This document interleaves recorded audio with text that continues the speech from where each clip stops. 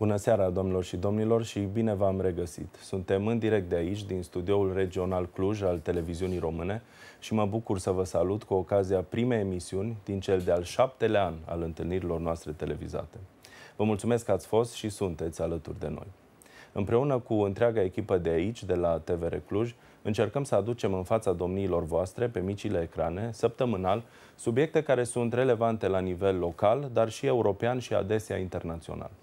Avem parte astăzi, așadar, de o emisiune specială, aniversară de-a dreptul, motiv pentru care am considerat că trebuie să fie reprezentativă pentru subiectele pe care le vom aborda de-a lungul întâlnirilor noastre viitoare, din acest, așadar, al șaptelea an.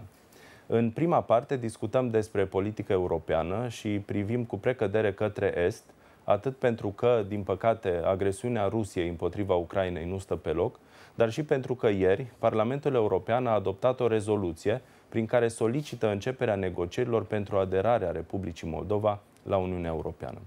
Iată așadar evoluții interesante din chiar vecinătatea României, realități care trebuie discutate și înțelese în profunzime. În partea a doua a emisiunii vom discuta despre evenimentul care promovează știința, dar care în același timp, practic, a deschis anul universitar la Cluj. Este vorba despre Noaptea Cercetătorilor Europeni. Vor fi alături de noi în studio, dar și prin legătură online, persoanele care se află la baza acestui proiect inedit și, în același timp, atât de util pentru a aduce rezultatele științei mai aproape de marele public. Până atunci însă începem cu politică europeană, așa cum spuneam, și discutăm despre război, dar evident nu numai. Îmi face o deosebită onoare să-i urez bun venit în studioul nostru domnului Octavian Țâcu, istoric și autor, fost parlamentar și ministru în guvernul de la Chișinău. Domnule Țâcu, bună seara! Bine ați venit la Cluj și mulțumim că ați acceptat invitația noastră. Sunt cinci ani de când am mai fost la Cluj. Mă Iată. bucur să revin. E, e... Să constat un Cluj de nerecunoscut în sens bun, chiar am avut astăzi o revelație așa. În, ne, ne bucură această observație. Și felicitări și una mai mult cu această emisiune. Vă mulțumim mult. Uh, nu e întotdeauna ușor să discutăm despre politică europeană, dar iată, având în vedere că există invitații asemenea dumneavoastră care vin în studio și ne permit să discutăm mai ușor despre astfel de da. teme, cred că e important pentru toți cei care ne urmăresc. Cu siguranță, cu atât mai mult că nu deseori se întâmplă. În România mă refer în general, nu doar la Cluj, ca temele legate de Republica Moldova să fie în prim plan. Cu regret spun lucrul ăsta, pentru că lucrurile care se întâmplă acolo sunt deosebit de importante pentru Uh, unitatea românilor, în primul rând, și pentru securitatea nu doar a Republicii Moldova, dar și a României. Absolut, sunt perfect de acord și sunt convins că și telespectatorii, cei care ne urmăresc, împărtășesc această viziune. Uh, domnule Țâcu, aș vrea să începem discuția noastră prin a face referire la această știre, iată, care vine de la Bruxelles. Ieri, Parlamentul European a adoptat această rezoluție, cred că importantă, mai ales în actualul context, care privește începerea negocierilor pentru aderarea Republicii Moldova la Uniunea Europeană. Cum priviți dumneavoastră această decizie pe care a adoptat-o Parlamentul European? Relațiile mele cu politicul eh, din Republica Moldova de mai bine de 10 ani m-a așezat eh, în realități, în a vedea lucrurile și privesc destul de realist. Îmi dau seama că atât oferirea statutului de țară candidată în uh, iunie anul trecut, uh, cât și această decizie sunt cu avans și se datorează războiului din Ucraina.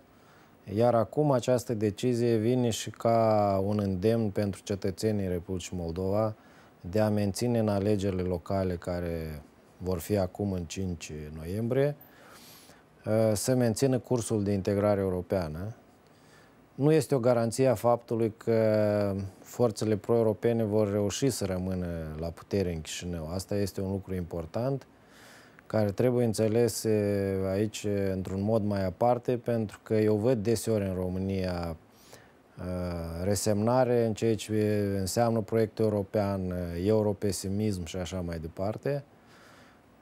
Din punctul ăsta de vedere, cred eu că lucrurile care se întâmplă la Chișinău trebuie înțelese în acest context al războiului și a faptului cât de mult Occidentul își dorește ca la Chișinău să existe în continuare o forță pro-europeană.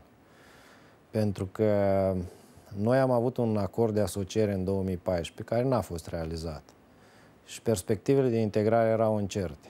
Deci doar război din Ucraina și punerea Republicii Moldova la pachet cu Ucraina în contextul de a fi țară candidată au garantat aceste decizii a Parlamentului European și a Uniunii Europene în general. Iar uh, agravarea situației în Republica Moldova în legătură cu războiul, cu situația economică, sărăcia și mai ales consolidarea forțelor oligarhice și putiniste, a făcut ca Parlamentul European să adopte o decizie privind deschiderea negocierilor și oferirea unei perspective de integrare clară pentru Republica Moldova. E, e importantă această perspectivă, domnule Țecu, pentru că, pe de o parte, vedem această, acest gest al Parlamentului European și al Uniunii Europene către Chișinău, pe de cealaltă parte, vedem uh, diferite amenințări, mai mult sau mai puțin voalate, către Chișinău, venind dinspre Moscova. Uh, cum arată războiul din Ucraina în acest moment, situația la zi, dacă putem spune astfel, cum arată războiul din Ucraina astăzi, privit de la Chișinău? Lucrurile sunt mult mai optimiste, aș spune eu, în comparație cu 24 februarie 2022.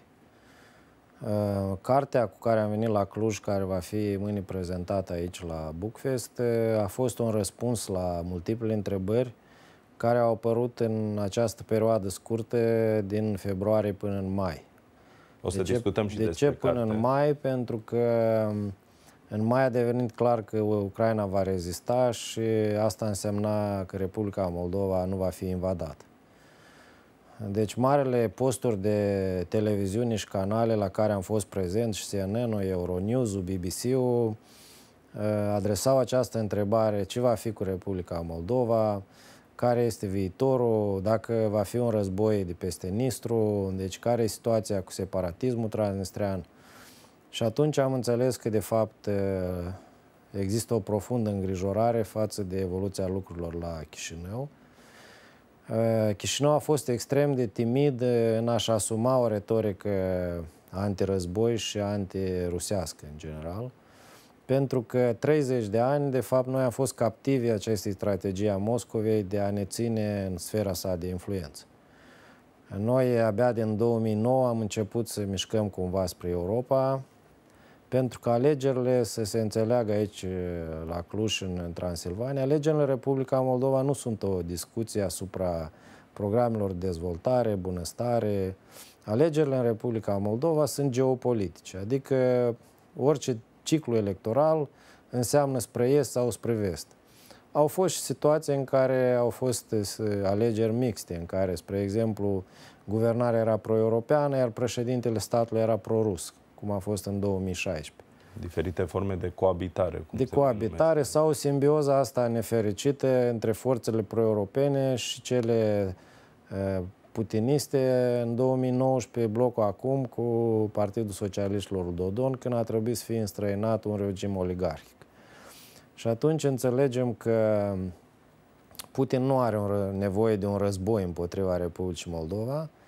El este costisitor și dăunează imaginii, dacă mai are ce dăuna, eh, regimului putinist. Până în 2021, la Chișinău a fost un regim uh, un guvern uh, pro-Moscova și o majoritate parlamentară pro-Moscova, pentru că majoritatea parlamentară precedentă, deci asigura Moscovei un control comod asupra Republicii Moldova. Gândiți-vă la faptul că ministrul de interne și ministrul apărării erau oamenii lui Dodon, uh, care era afiliat uh, intereselor Moscovei.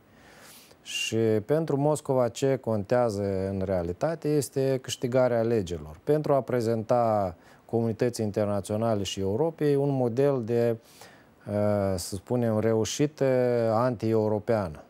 Deci, din moment ce forțele putiniste câștigă la Chișinău alegerile, este clar că oamenii sunt anti-Europa, anti-NATO, anti-Statele Unite și își doresc reluarea relațiilor istorice cu Rusia. Aș vrea să vă întreb aici, domnule Țârcu, există cumva acest pericol și în ceea ce privește următoarele rânduri de alegeri care vor avea loc în Republica Moldova. Știm că anul acesta, așa cum ați menționat și dumneavoastră, vor avea loc alegeri uh, locale. Anul viitor, în schimb, urmează alegeri probabil și mai importante, pentru că e vorba despre alegerile prezidențiale. Da, și în jumătate de an avem alegeri parlamentare. Deci, într-un an jumate vor fi trei alegeri care vor prefigura viitorul Republicii Moldova. Prin urmare, da, ne bucurăm de statutul de țară candidată, ne bucurăm de începutul negocierilor de aderare, dar asta nu e o garanție pentru că, de fapt, Moscova a băgat Republica Moldova într-o capcană, în primul rând energetică, pentru că în 30 de ani noi n-am dezvoltat un sistem alternativ energetic. Gazpromul uh, a avut un monopol absolut, uh, la gaze ne referim, la energie noi am fost legați de separatismul transnistrian, pentru că toată energia o luam de la centrala din Cuciurgan, și în 30 de ani nu s-a dezvoltat un sistem energetic alternativ. Au fost în interes a Moscovei, prin coruperea strategică a elitelor care au avut interes să ia banii în plic și să nu dezvolte un sistem alternativ, prin conexiunea la e, sistemul energetic românesc, în primul rând. Și atunci această dependență a fost e, cumva ceea ce a oferit Moscovei această garanție. Războiul a schimbat un pic această optică, pentru că victoria forțelor pro-europene, așa aș spune, care au schimbat cursul, așa spunem, de integrare europeană, făcându-l cumva legitim în ochii cetățenilor, votul pentru cei care nu știu realitatea s-a dat unui partid pro-european în premieră, care are la ora actuală controlul total al puterii, dar care este subminat eh, de prețurile foarte mari la energie și la gaz, de sărăcia extinsă care există și de lipsa de perspectivă în dezvoltarea Republicii Moldova ca stat, eh, eh, condiționat în mare parte și de separatismul transnistrian, de separatismul găgăuz, care este în continuare controlat de Moscova, și care au făcut ca, la ora actuală, guvernarea pro-europeană să fie ca într-o cetate asediată, așa, din toate punctele de vedere, cu toată susținerea României, a Uniunii Europene, a Statelor Unite.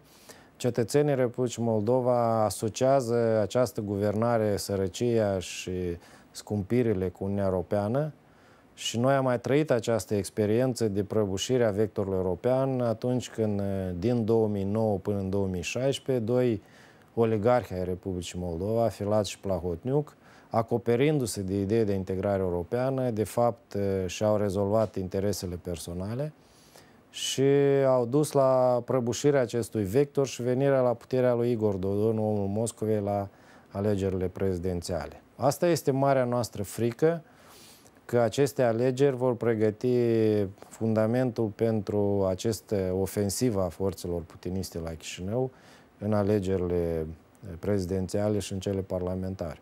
Se discută însă în același timp despre modul în care războiul se duce cu alte arme, nu doar în Republica Moldova, și în România și în alte țări ale Uniunii Europene. Mă refer aici la domeniul vast al comunicării fake news, dezinformare, chiar și deepfake-uri am văzut, acele videouri alterate în care părea că un lider politic spunea ceva ce n-a spus niciodată și mă refer aici mai ales la uh, Volodymyr Zelensky, au da. existat diferite tentative de acest fel. Uh, în ce măsură afectează în acest moment aceste forme de manipulare, de război cu alte arme, cum uh, îl numesc unii, politica de la Chișinău? Problema Republicii Moldova este că în acești 200 de ani în care a fost parte a lumii ruse și a Uniunii Sovietice, a dezvoltat din punct de vedere mental și lingvistic anumite asocieri cu lumea rusă și acest lucru influențează profund acțiunile politice, pentru că, în definitiv, așa cum spun și studenților mei, Eh, cultura politică, de fapt, este prefigurată de cultura istorică. Și eh, dacă vă puteți imagina că fiecare al treilea moldovean consideră că Putin este corect în război împotriva Ucrainei și că, de fapt, eh, în Ucraina sunt naziști care trebuie dați jos și că, de fapt, orice formă de, de patriotism românesc sau moldovenesc în Republica Moldova este o formă de nazism. Deci acceptă narativul de la Kremlin, exact. spuneți. Exact și asta vine atât din mass media cât și din familie. Pentru că așa cum noi românii în perioada sovietică am avut un discurs istoric alternativ care venea din familie, din uh, perioada interbelică, povestit de bunei noștri și străbunei și părinți, exact la fel există o istorie alternativă pe care o au din familie vorbitorii de limbă rusă, cei care întotdeauna s-au raportat la lumea rusă și ei sunt destul de numeroși și influenți. Nu avem încă o estimare a profunzimii schimbărilor pe care le-a avut război din Ucraina asupra legătorului nostru. Probabil aceste alegeri locale vor fi un prim semnal încotro va merge electoratul, pentru că eu personal am văzut foarte mulți ucraineni rusificați care au fost profund impresionați de atrocitățile rușilor în uh, Ucraina și au devenit antiputiniști. Și atunci uh, vedem uh, o anumită schimbare prin prisma acestor atrocități de război, care în condițiile Republicii Moldova sunt accesibile, avem o libertate a presei asigurată și de acest parcurs european, astfel încât am putut vedea anumite transformări, inclusiv a clasei politice, care de cele mai multe ori s-a raportat la Rusia și care acum vede perspectiva europeană ca una definitivă. Dar, în mod cert, aceste alegeri ne vor arăta care va fi soarta Republicii Moldova din acest punct de vedere, pentru că Chișinău rămâne în continuare destul de larg, deci conectat la mass media rusească, la televiziunile rusești. Spre exemplu, cele mai importante filme și posturi de televiziune care uh, deci prezintă filmele în limba rusă. Și limba rusă, dincolo de ce vorbește Putin și Lavrov legat de discriminarea rușilor, este omniprezentă la Chișinău, uh, spațiul public, uh, cel privat, cel politic, chiar în Parlament avem deputați care nici măcar nu știu limba română și care intră în Parlament vorbind limba rusă și ostentativ o fac în Parlament. Deci un lucru din neimaginat într-un alt eh, context.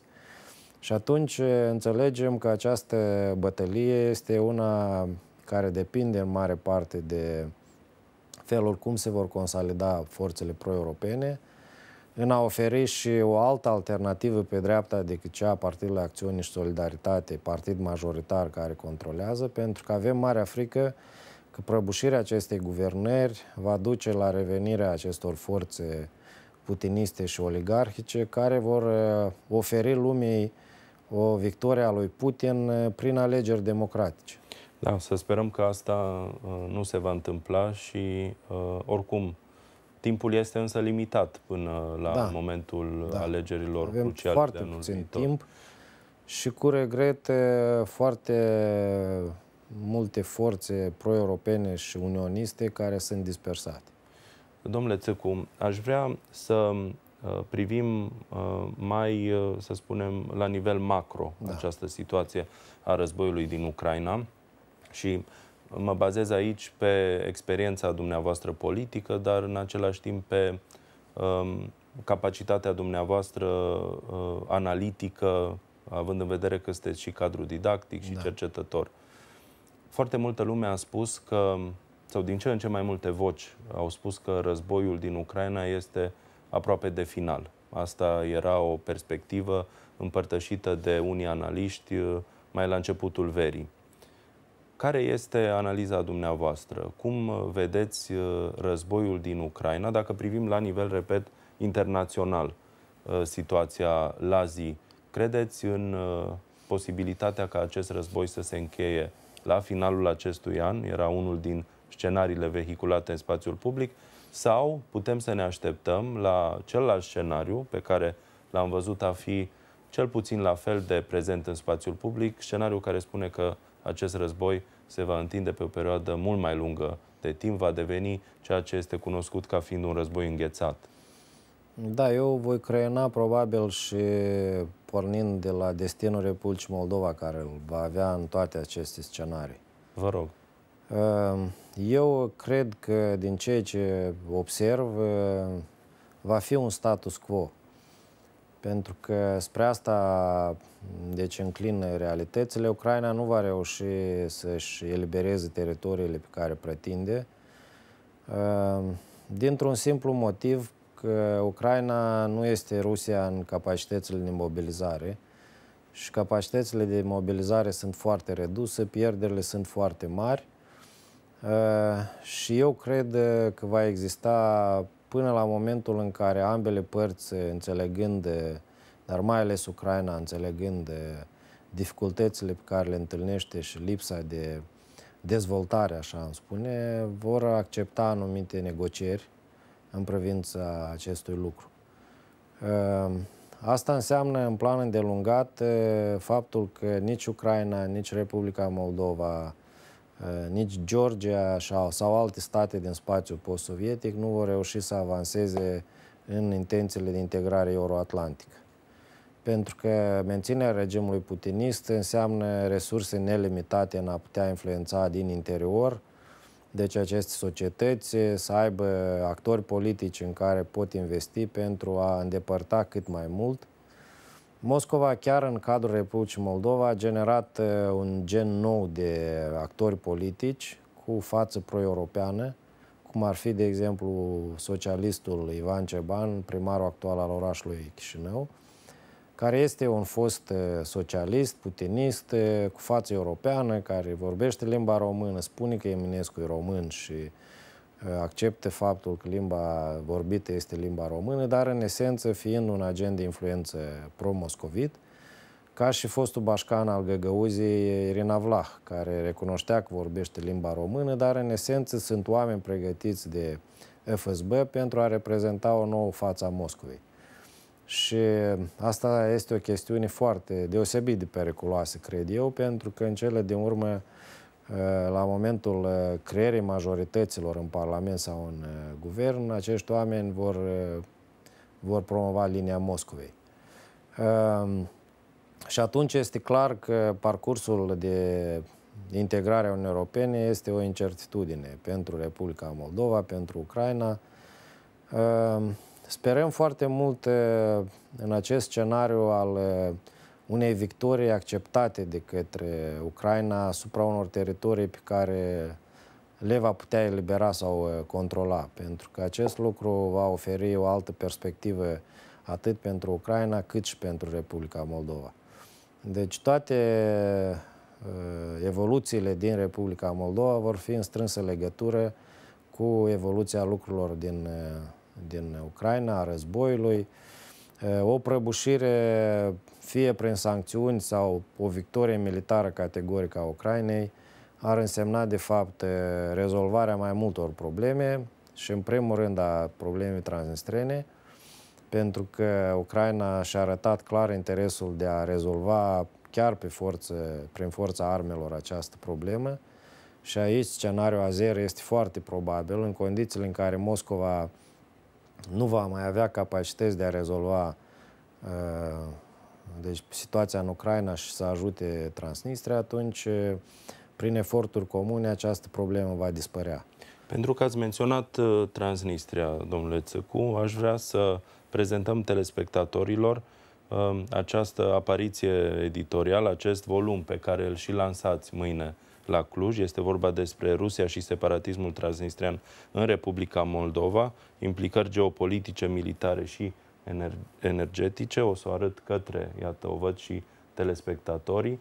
Um, mâine, așadar, se lansează... Mâine la ora 2 la Casino, deci vom avea o lansare de zile mari în care invităm pe toți cei interesați, poate avea și cartea și cu atât mai mult că avem și o variantă Haideți să le arătăm telespectatorilor. În limba italiană a cărții. A fost preluată imediat și uh, publicată la Torino. Avem în, uh, tradusă deja în limba engleză și vom avea și o variantă engleză. Este cartea momentului. Ne-a dorit să înțelegeți uh, realitățile din Republica Moldova, din regiune, pentru că mă refer și la scenariile războiului din Ucraina, și a, istoria acestei, acestui separatism, care există, apropo, la doar 100 și ceva de kilometri de frontiera României. Este o carte care se adresează, domnule Țâcu, nu doar celor care cunosc în detaliu această Da. situație, ci înțelegem că Da. se uh, deschide această carte tuturor celor care sunt interesați să afle Asta e, despre asta e și marea mea situația. bucurie că cititorul a apreciat această simplitate a discursului. Este o carte mai mult eh, care merge spre publicistică, chiar dacă e făcută în baza unei documentări riguroase și în baza cărților mele anterioare, dar eh, oferă răspunsuri simple la întrebări foarte complicate, iar epilogul cărții este pentru cei care sunt mai leneși și nu doresc citească, chiar dacă cartea are doar 150 de pagini, epilogul este o sumă a miturilor și stereotipurilor legate de conflictul transnistrean, în care trăiește cititorul eh, nostru, inclusiv din spațiul românesc, și care nu este interesat sau cunoaște în superficialitate această temă. Am să le spun, spre exemplu, câteva curiozități Chiar vă legate rog. de, de acest separatism. Spre exemplu, toți cred că rezolvarea acestei probleme ar fi la Moscova sau în alte părți, dar, spre exemplu, puțini lume știe că, de fapt, toți banii Transnistriei sunt la Chișinău, în băncile din Chișinău, pentru că șeriful, Cuciurganu, Râbnița, mari exportatori ai, și producători din zona transnistreană nu pot face exporturi și e, tranzacții la nivel internațional decât prin băncile din Republica Moldova, pentru că sunt entități nerecunoscute. Și atunci este clar că Chișinăul ar putea îngheța aceste active și paraliza, practic, economia acestei entități separatiste. Dar nimeni n-a făcut-o până acum. Aș îndrăzni să vă Este- întreb de ce. De ce? Pentru că elita noastră politică primește bani în plic de la separatismul transnistrean, inclusiv pentru oferirea acestor uh, uh, accize și posibilități de export uh, în Uniunea Europeană, în România și în alte părți, care se face prin intermediul Republicii Moldova și care sunt raportate uh, în interiorul Transnistriei ca, o, bil- ca un bilanț a relațiilor bilaterale între Transnistria și România, nu între Republica Moldova. Da. Și Sunt, uh, sună a fi chiar și acuzații grave.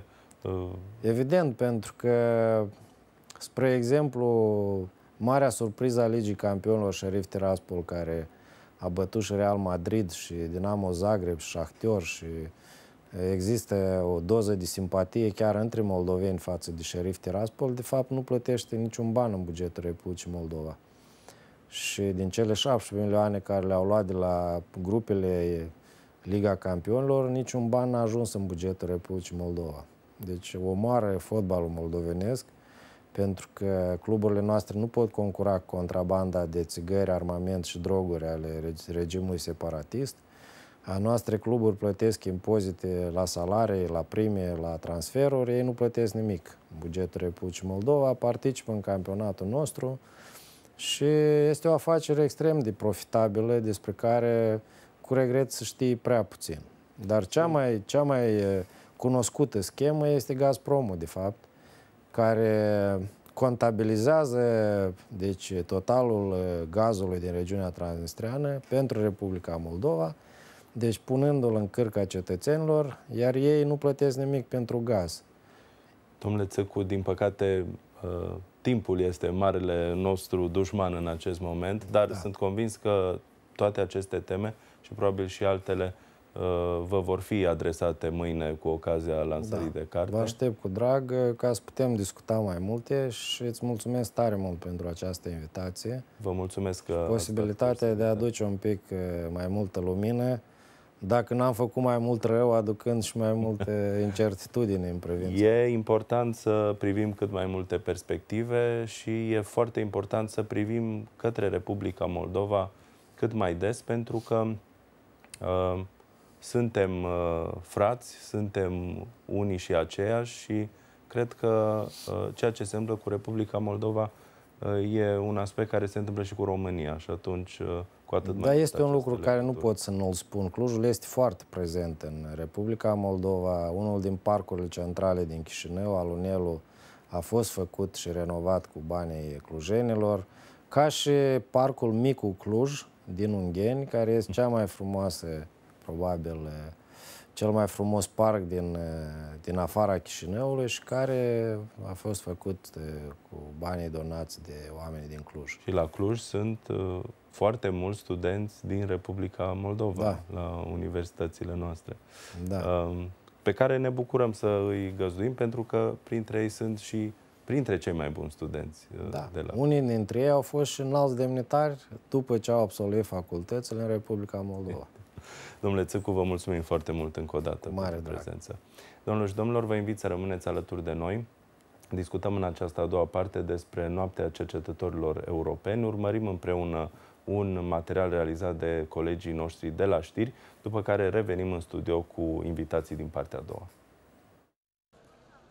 Evenimentul a ajuns la a doua ediție, a întrunit în fața Centrului de Cultură Urbană Casino peste 20 de cercetători și cadre didactice care au susținut activități cu copiii.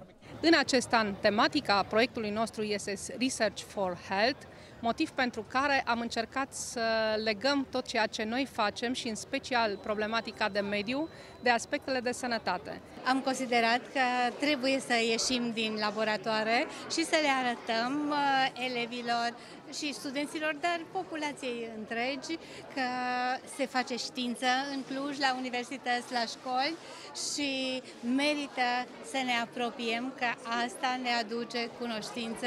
Elevii au văzut cum pot obține o tăietură chimică cu ajutorul sângelui artificial. Avem aici o tiocianură pe care o punem pe palmă. E o substanță incoloră. Și o clorură ferică.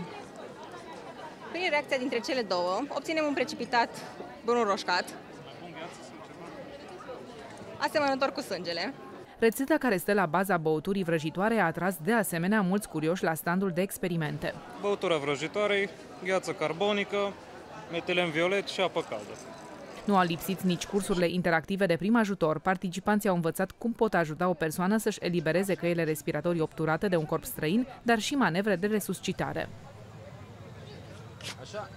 Calitatea aerului a putut fi măsurată cu un autolaborator performant. Avem o calitate moderată a aerului, uh, avem valori uh, ridicate pentru ozon în acest uh, moment. De asemenea, elevii au învățat să determine calitatea solului și cât de importantă este biodiversitatea. Au studiat diverse insecte la microscop și au încercat să determine din ce categorie fac parte. Avem sol uh, recoltat din pădure de foioase, din pădure de conifere, dintr-o halde de steril și se vede foarte bine diferența între biodiversitatea de, din aceste tipuri de soluri. Copiii au fost încântați să afle lucruri noi direct de la cercetători. Făcut practică la prim ajutor, am determinat pH-ul la mai multe soluții. Experimentele de fizică mi-au plăcut foarte tare și mi-a plăcut și la cursul de prim ajutor. Au fost foarte frumoase toate experimentele. Cel mai mult mi-a plăcut uh, cele cu gheață carbonică. Evenimentul Noaptea Cercetătorilor Reconnect se desfășoară pentru al doilea an consecutiv sub patronajul Ministerului Cercetării, Inovării și Digitalizării. Acesta a avut loc în peste 20 de orașe din România. Am revenit, domnilor și domnilor. Iată, așadar, cât de multe evenimente dedicate cercetătorilor, cercetării. Noi, în schimb, discutăm acum despre Noaptea Cercetătorilor Europeni și îmi face plăcere să-i salut în studio alături de noi. Sunt doamna conferențiar doctor Tania Mihăiescu de la USAMV Cluj-Napoca. Să mâna, doamnă profesor. Bună seara, mulțumesc pentru invitație. Mulțumim și noi. Uh, tot alături de noi în studio este domnul conferențiar doctor inginer Conțiu Glad de la UTCN. Bună seara, Bună domnule seara. profesor. Bună seara și bine v-am găsit. Uh, iar uh, prin legătură online, alături de noi, Irina Raboșabca, lector universitar, șef lucrări, doctor la Universitatea Babeș-Bolyai, Extensia Bistrița. Irina, bună seara, mulțumesc că ai acceptat invitația noastră. Bună Iată, seara, pentru al doilea bună seara, an consecutiv. Îmi face plăcere să revenim în studioul dumneavoastră.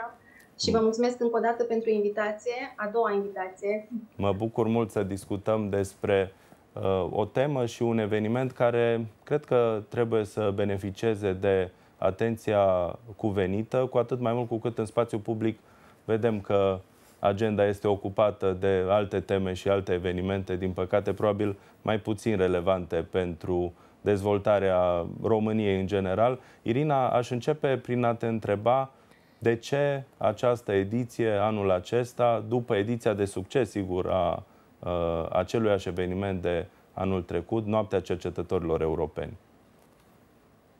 Acest eveniment uh, s-a, și-a demonstrat deja că este un eveniment de succes și proiectul Noapte Cercetătorilor are un istoric de mai bine de 15 ani și se desfășoară în peste 400 de orașe europene concomitent în ultima vinere din luna septembrie. În uh, România sunt uh, mai multe proiecte care uh, își asumă responsabilitatea de a organiza acest eveniment. Dumneavoastră ați prezentat proiectul Reconnect. Noi suntem un alt proiect, Science of Future 2, dar mă bucură foarte mult că suntem mai mult prezenți în organizarea acestui eveniment. Vom, vom vedea la finalul uh, intervenției domnilor voastre în această seară și un material video despre Noaptea Cercetătorilor Europeni, material pe care uh, l-ați pregătit, uh, Irina, dar uh, aș vrea să mă întorc până atunci la invitații din studio. Uh, doamna profesoară, se discută, spuneam, uh, mai puțin probabil despre cercetare în spațiul public din România și atunci când se discută uh, Uh, nu sunt uh, cele mai bune cuvinte la adresa cercetării. Știm care sunt provocările. Uh, cred că și telespectatorii care nu au o legătură cu cercetarea le cunosc. Este vorba mai ales despre fondurile insuficiente, insuficiente ca să spunem elegant. Da. Dar aș vrea să vă întreb, având în vedere și experiența dumneavoastră, având în vedere și uh, Uh, acest eveniment uh, la care ați uh, participat. Cum, cum vedeți dumneavoastră, hai să spunem, probabil prea pretențios, dar starea cercetării în România astăzi? Um, referitor la starea cercetării, eu am o experiență vastă. Din 89 am tot lucrat în cercetare. și ultimii 15-20 de ani cercetarea a fost subfinanțată. Cu toate că legea educației spune următorul lucru. Pentru educație este nevoie de 6% din PIB, lucru care nu s-a întâmplat. Tinerii cercetători nu sunt atrași da? să vină rândurile ă, cercetătorilor mai în vârstă, care la un moment dat ies la pensie. Da? Acest proiect european a fost extraordinar pentru că atragem copiii atragem uh, elevii de la licee, studenții, către cercetare. Uh, lumea privește un cercetător ca un șoarece de bibliotecă care stă, studiază, face experimente. Noi am vrut să arătăm copiilor, copiilor mici și mai mari, că cercetarea poate să fie funny, poate să fie distractivă. Au fost o grămadă de experimente care s-au realizat. Toată lumea a fost super încântată, super încântată. Acum, noi așteptăm, într-adevăr, în ultimul an a crescut bugetul pentru cercetare. Chiar am, m-am uitat pe niște statistici oficiale, da? Uh, anul trecut 0,17% din PIB, cam nimic. Față de țările europene dezvoltate, unde procentele ajung până la 3, 3,5, cam pe acolo. Uh, anul acesta 0,18% din PIB. De aceea Horizon EU da, a fost o oportunitate extraordinară pentru noi ca și universități, pentru noi ca și cercetători, să arătăm lucrurile interesante care, într-adevăr, se întâmplă la nivelul uh, fiecărui partener din, din consorțiul acestui proiect. Am participat uh, anul trecut la uh, acest eveniment și țin minte cât de fascinați erau mulți dintre copiii de liceu, da. uh, care aproape că vedeau în cercetătorile prezenți acolo uh, niște supereroi. Ceea ce exact, exact, exact, exact. Și uh, exact. aș vrea să vă întreb, doamna profesoară, uh, și despre bune practici din Uniunea Europeană la care putem să ne referim. Emisiunea aceasta se numește Acasă în Europa și adesea discutăm despre teme, sigur, și de politică europeană, dar și de politici europene, da. adică uh, modele de bune practici. Nu înainte însă de a întreba pe domnul profesor, apropo de cercetare, cercetător, statutul cercetătorului. Uh, dumneavoastră sunteți printre cei care fac cercetare în România. Da. Și aș vrea să vă întreb în acest sens, care sunt astăzi satisfacțiile cercetătorului în România, așa cum le vede profesorul aici de față? Bun, satisfacțiile sunt uh, exact ca și în cazul în care cineva își dorește foarte mult să realizeze ceva și reușește. În cazul nostru ne-am ales să facem cercetare. Uh, mă rog, ne-am ales noi și până la urmă ne-a ales și universitatea într-o oarecare măsură.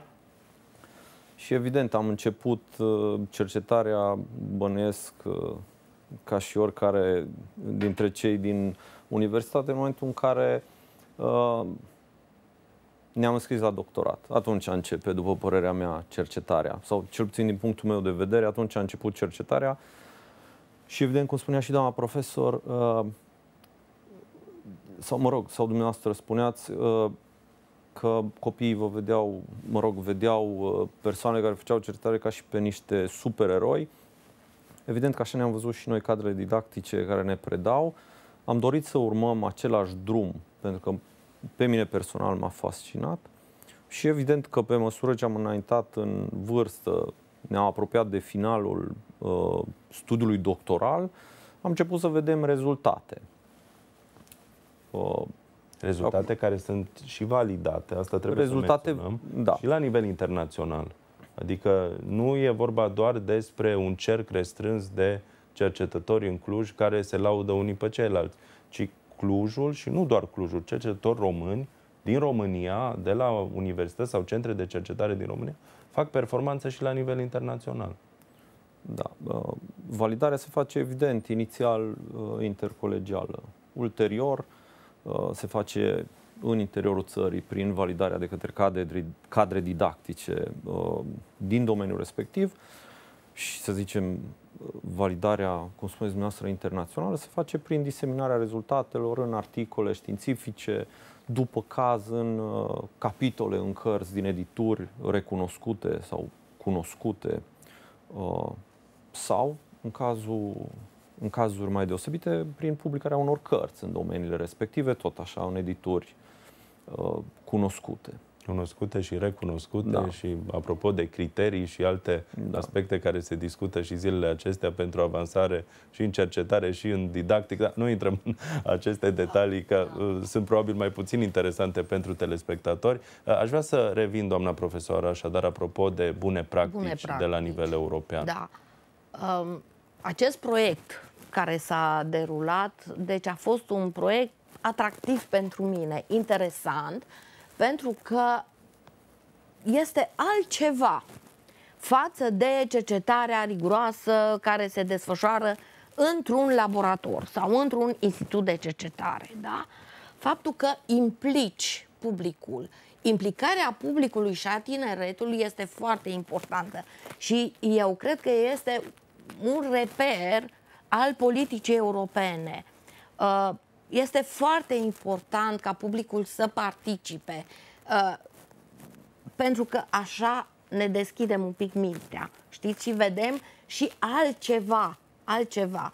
Și eu am fost super încântată uh, de acest proiect și eu cred că și populația Clujului, care a fost și anul trecut și anul acesta, uh, cred că a fost ceva altceva față de ce se întâmplă în mod obișnuit în școli, în licee, cu acele aspecte de predat tradițional.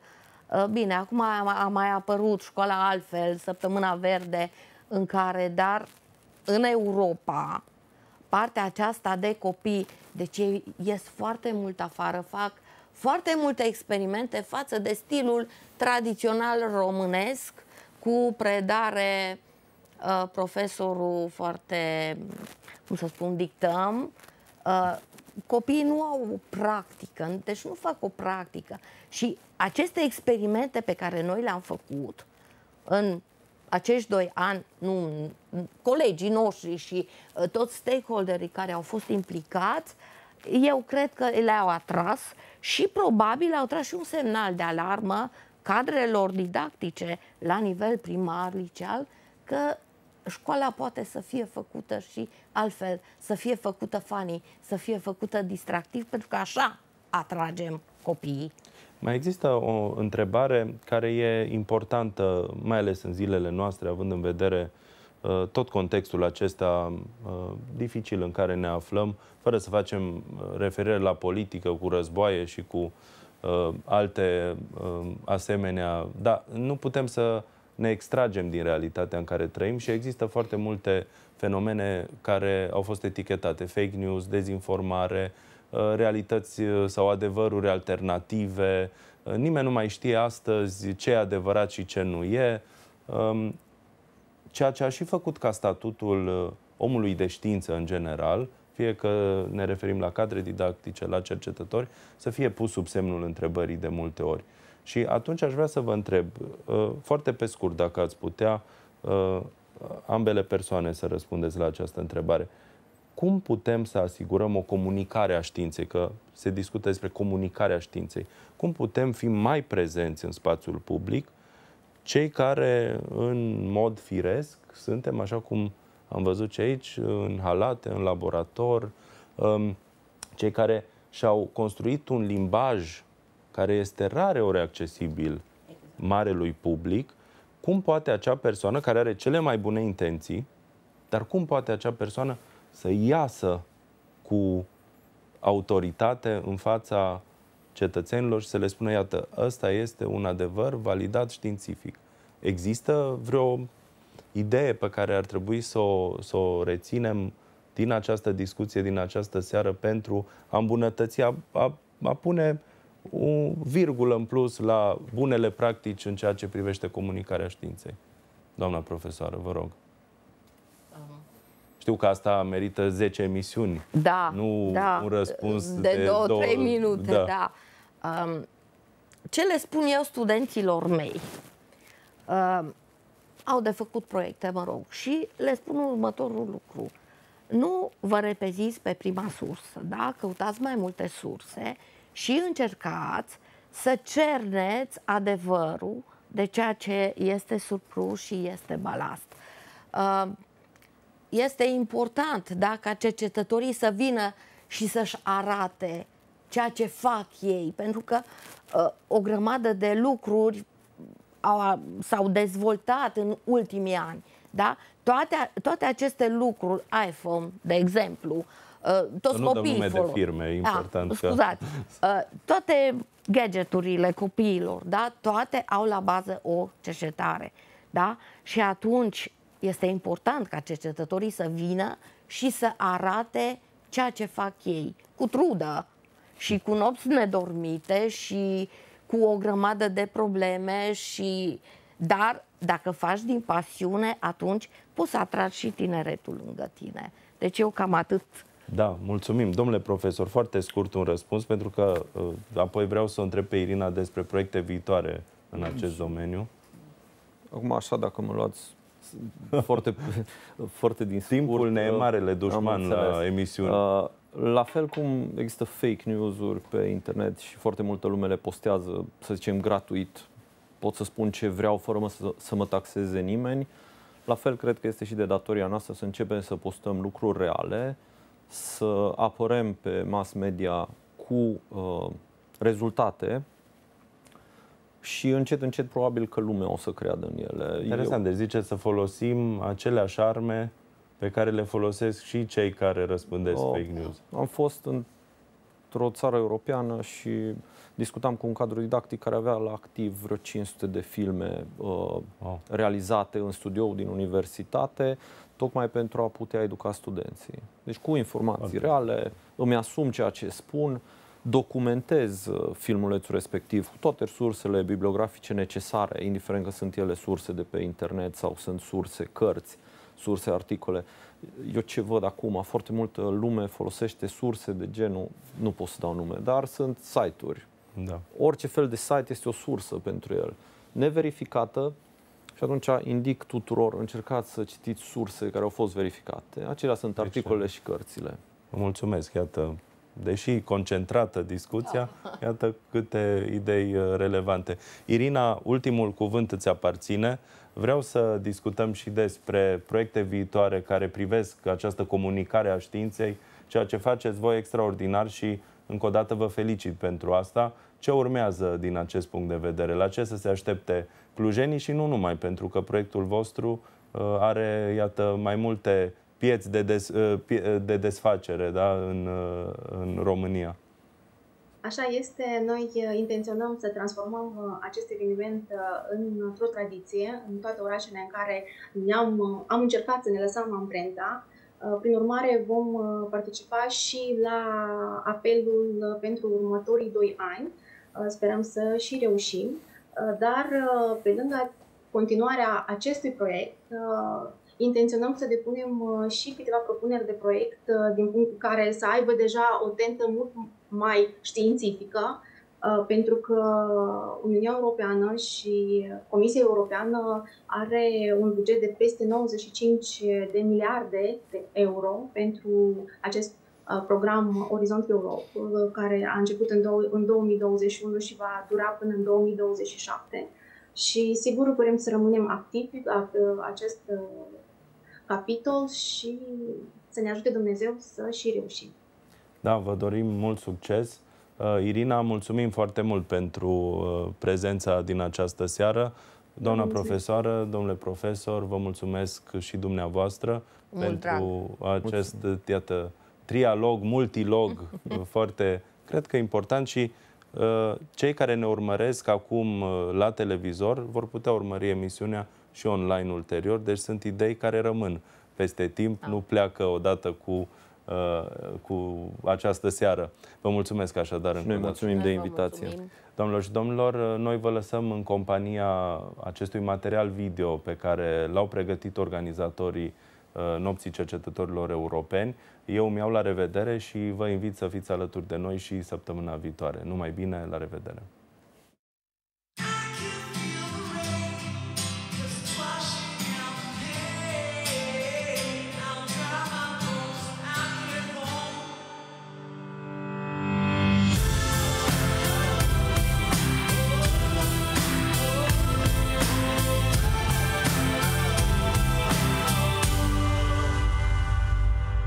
My dream was dying yesterday, I could see beyond the storm that was on the way.